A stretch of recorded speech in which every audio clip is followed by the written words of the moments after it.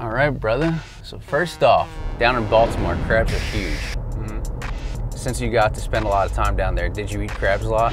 There was a couple places that we would go to. There's a place called Costa's. It's kind of outside the city. Mm-hmm. A lot of guys would go to get some good crabs there. So it was definitely something I tried out when I first got there. And then as I was there for a lot longer, there was some other good food in the city that we liked.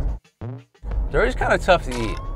Like they take a long time to Yeah. crack and actually get Yeah, the crab meat, and then like an hour goes by and you're not full, right. and like you got cuts on your hands. Yeah, there was a, I think one of the first times I took my wife, she didn't like cracking the, the crabs. And so I was like, the whole day I was cracking the crabs, get, and then she was taking the meat. So I was like, cracking crabs for her and me, and I was over it. I was like, I didn't even eat. I was like, this is dumb. We're never doing this again. Being a huge history buff, have you been able to locate a confidential black book of some of the wildest conspiracies out there? I haven't. Um, the thing that I've been on like kind of lately with some history stuff is kind of like collecting like rare items from, you know, I you know my grandfather served in World War II. Um, my dad was in the military in Vietnam.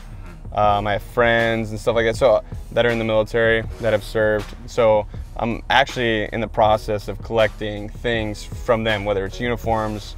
Uh, my grandfather passed away, but he had a purple. He has a Purple Heart in my house. and making a having a room where it's going to be all dedicated to, you know, whether artifacts that I buy from like those war periods, like all the way back to the Revolutionary War, and then current stuff from like family members. I think we're going to have a, a pretty cool collection when it's all said and done that I can put together. So awesome. Hopefully, put some photos up so people can check that out on social media whenever I get it done. Did Neil Armstrong land on the moon? Uh, I would say a 100%, right? Uh, I could be wrong.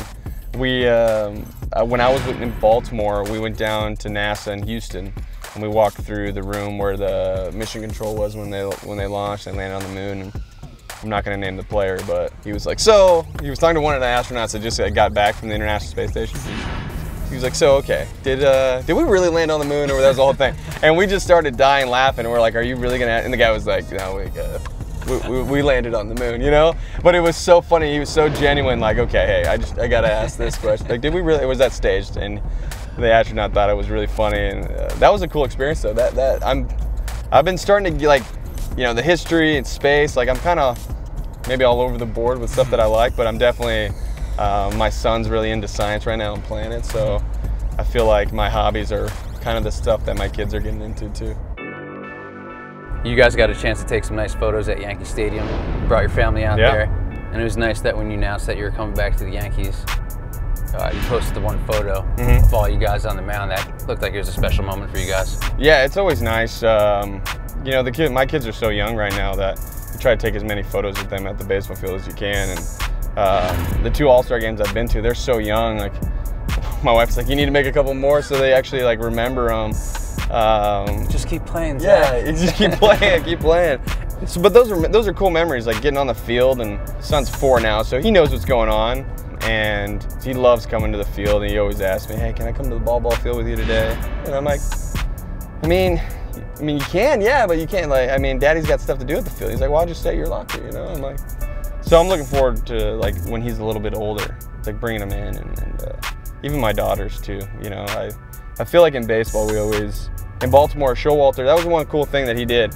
There was a lot of uh, daughters there, and he had a whole day in the clubhouse where it was just bring your daughters to the field day. Um, and that's pretty cool because the girls get left out, and uh, you know, obviously it's tough because it's just it's an all male environment in the clubhouse and stuff. But um, it's still nice when you can bring your daughter in there too, and it's not always you know my son coming in. You got your daughter the pink glove, right? Yeah, yeah. That was awesome to see.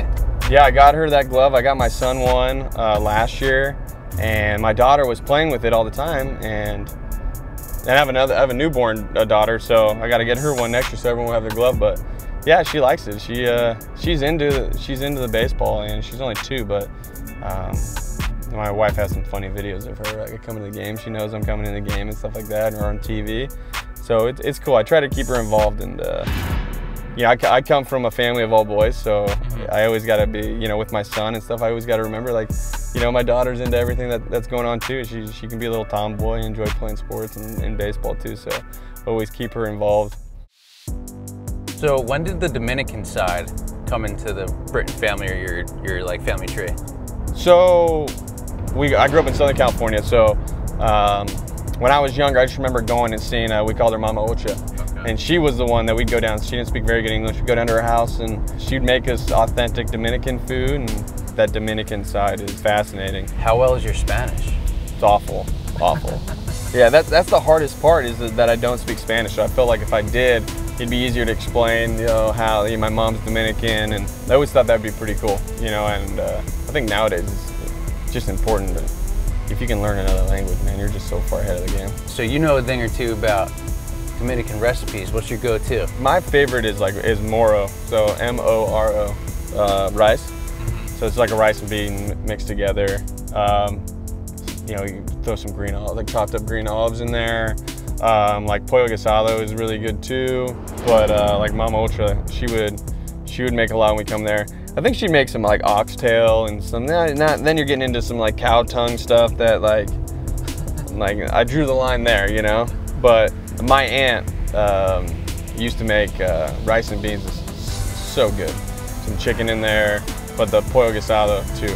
But rice and beans would be my go-to, which is obviously a staple over there. You had tweeted out big news about the name my name change. I was like back and forth. Spelling it with an H, spelling it with a K. Like K is officially, like, it's on my birth certificate, right? So all my legal documents with a K, driver's license K.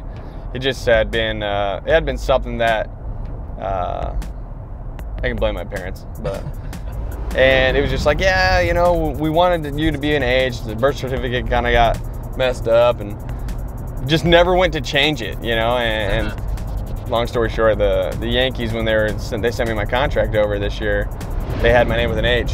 Wife being an attorney was like, hey, no, it's got to match up. It's got to be uh, like it's got to be like legit. And I was like, all right, well, I guess I'll tell him. And I called Scott Boras and hey, the name of my contract's wrong. And he was like, oh yeah, you know, same thing. He's like, okay, we'll make sure we change it. One thing led to another. They're like, why are you going by an H? And I was like, it's a stage name. Like, I don't know. Like. I figured it was a slow free agent market at that time, and uh, I was right because that tweet took off more than I ever thought it would for just saying that I was changing one letter of my name. It was funny though. Some of the responses I got were great. Actually, I, there were so many Zacks that you know tweeted at me and commented on that, saying that they go through the same stuff all the time. Wow. You know, or even other names too. I thought it was funny. Like it's not. It's a universal problem where people are just like whatever you know, there's always like trolls on any social media, but for the most part, I would say the interaction with fans on the social media, um, if you do it the right way, um, is really re- rewarding. You can reach people in other countries. You know, those fans might not be able to travel to see you play or ask you questions. I always find the interaction is pretty positive. I think it's it's a great tool to get your message out.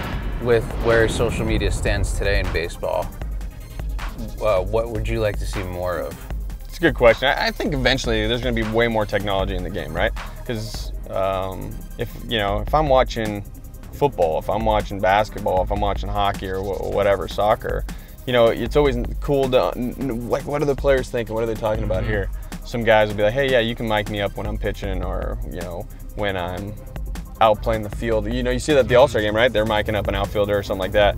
I think that kind of thing. I think fans are interested in that. You're interested in that, and anything to make the game more interactive for the younger generation of kids because everything's just, e- access is so easy. You know, you want as much access as you can get. You can interact with fans doing something that's completely non-baseball related, um, whether it's online gaming or anything like that. I think uh, there's a lot of cool ways to interact with fans nowadays. And so we're, we're pretty fortunate to play in like this area of where you have that, and uh, it'll be crazy. You know, when my kids, when I'm long done playing, and it'll be interesting to see how the game is and what the the next generation of kids has to deal with from like a social media standpoint. Yeah, it'll be it'll be nuts.